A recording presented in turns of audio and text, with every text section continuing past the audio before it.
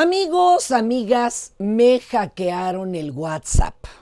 Miren, a veces encargo mi teléfono durante los programas en vivo para que otra persona los atienda. Y a esta persona se le hizo sencillo inscribirse en una oferta laboral en donde uno podría ganar hasta 3 mil pesos diarios con solo dar me gusta o repostear algunos anuncios en Instagram de eventos, restaurantes, productos, artistas. Mi asistente se percató de que algo no andaba bien tras ganar sus primeros 60 pesos, porque para pasar al siguiente nivel le pedían depositar 260 pesos. Salió del grupo, les bloqueó, pero el daño estaba hecho. Ese grupo de defraudadores ya tenía mi contacto.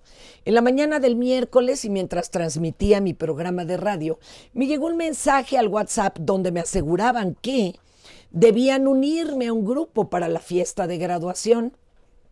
Para colmo de males, yo efectivamente sí estoy organizando con un grupo de madres la graduación de mi hija y sus compañeros de escuela. Eh, todo tenía sentido y sin poder analizarlo a profundidad porque me encontraba transmitiendo, di por hecho que me estaban agregando a otro grupo de WhatsApp esta persona me solicitó un código que debía llegar a mi SMS para poder unirme al grupo.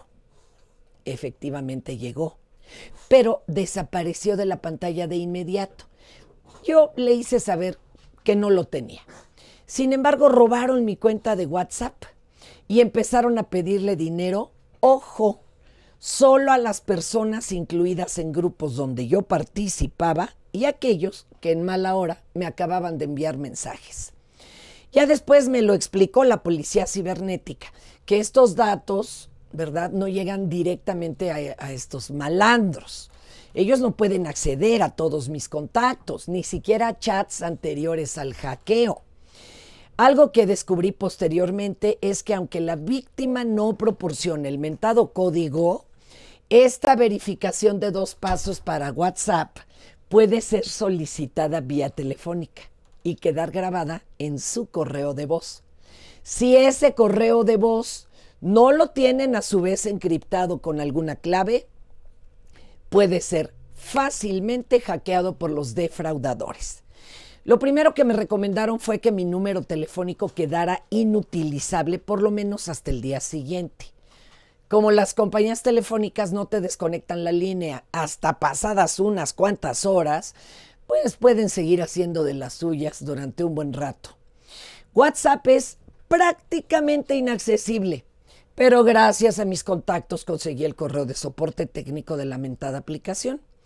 Tanto para la policía cibernética como el reporte de WhatsApp bueno, mi, marido Pedrito, que es bastante meticuloso y tiene experiencia en esto de los fraudes electrónicos, recibió los pantallazos de las conversaciones de estos malandros con los contactos que habían logrado embancar y con los que no cayeron en el engaño hizo un listado con números de cuenta bancarios, nombres y algunas otras ocurrencias como el hecho de que a una víctima, quien finalmente depositó lo solicitado, le dijeron que iba a ser unida a otro grupo.